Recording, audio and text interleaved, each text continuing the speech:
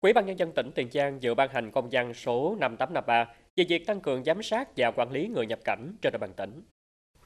Ủy ban nhân dân tỉnh yêu cầu Sở Y tế, Công an tỉnh, Bộ Chỉ huy quân sự tỉnh, Bộ Chỉ huy Bộ đội biên phòng tỉnh, Sở Ngoại vụ, Sở Lao động Thương binh và Xã hội, Sở Văn hóa Thể thao và Du lịch, Ban quản lý các khu công nghiệp tỉnh, các sở ngành tỉnh có liên quan và Ủy ban nhân dân các huyện thành thị tiếp tục ra soát chặt chẽ các trường hợp đi về từ nước ngoài để phát hiện sớm, ngăn chặn kịp thời các trường hợp nhập cảnh trái phép, đề nghị xử lý nghiêm và yêu cầu thực hiện cách ly theo quy định. Giám sát chặt chẽ việc tổ chức thực hiện cách ly tại các khu vực được chỉ định làm khu cách ly tập trung, cách ly tại nhà, nơi lưu trú, không để những người không có trách nhiệm vào các khu cách ly và yêu cầu người được cách ly thực hiện đúng các quy định, thường xuyên đeo khẩu trang và không được tiếp xúc gần với người xung quanh để tránh lây lan. Thường xuyên kiểm tra việc thực hiện cách ly tại các khu cách ly tập trung, cách ly tại nhà, nơi lưu trú, đánh giá và xử lý nghiêm các đơn vị cá nhân để xảy ra các sai phạm làm dịch COVID-19 xâm nhập và lây nhiễm trong cộng đồng.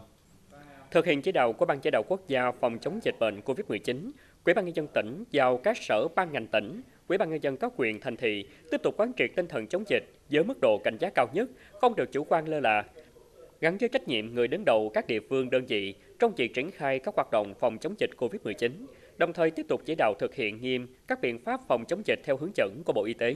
đeo khẩu trang khi ra khỏi nhà, tại các nơi công cộng và trên phương tiện giao thông công cộng, rửa tay thường xuyên bằng xà phòng hoặc dung dịch sát khuẩn, hạn chế tụ tập đông người tại nơi công cộng, giữ khoảng cách an toàn khi tiếp xúc.